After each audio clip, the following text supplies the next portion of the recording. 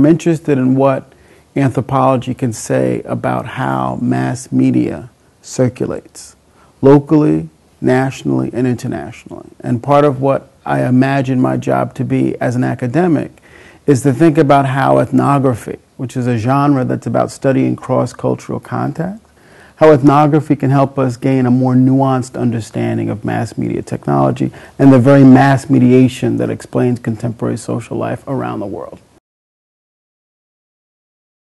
I'm looking at a group of African Americans that left Chicago in the 1960s, first for West Africa, but then eventually for Israel by 69. And they've been there ever since. So now we're talking about over 40 years.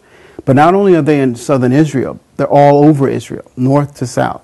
And they're actually on four different continents. The project is really my attempt to say, well, if we take seriously this one group that's under-thematized, right? No one really studies them. A lot of people dismiss them as kooky or crazy. If we can understand what they say to us about how race functions in the contemporary moment, how different spiritual communities deploy new media technology because they're incredibly savvy media makers and consumers, and also if it can get us to reconceptualize what we mean by diaspora. In this instance, both the so-called African diaspora and the Jewish diaspora, in that they try to bring these two things together.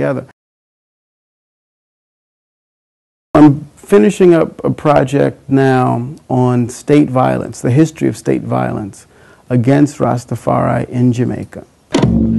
I confident the power of Haile Selassie Rastafari to deliver.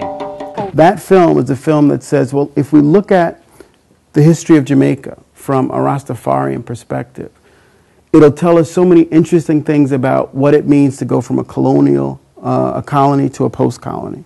It'll tell us some fascinating things about how every new state negotiates its more marginal, vulnerable, even potentially threatening communities.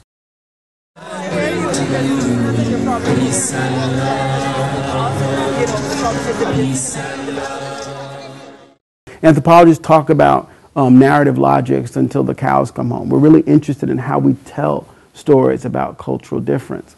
But I think film just makes that preoccupation so much more acute, so much more important.